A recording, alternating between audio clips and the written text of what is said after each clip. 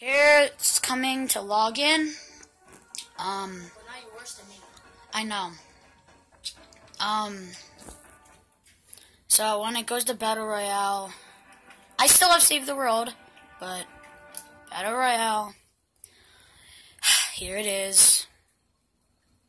Right now.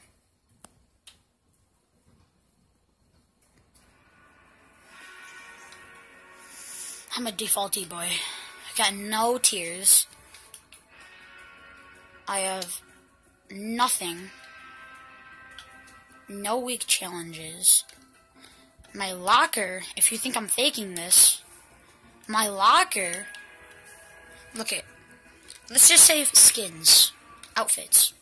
Nothing. Exactly. Item shop, zero V bucks.